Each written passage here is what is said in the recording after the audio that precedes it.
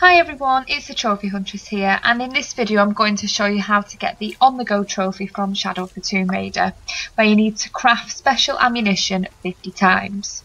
So the best thing to do is make sure you've got all of the weapons that you can get and make sure you've unlocked all the skills that you need. Just craft all of the ammunitions by selecting the weapon using your D-pad and pressing the R1 button to craft the materials. Make sure you've got enough materials in order to craft the ammunition. You probably will get this as you go throughout the game, but if you want to get it a bit quicker, you can do what I've done here and just stand and keep crafting them, fire them, and then craft them again until you get your trophy.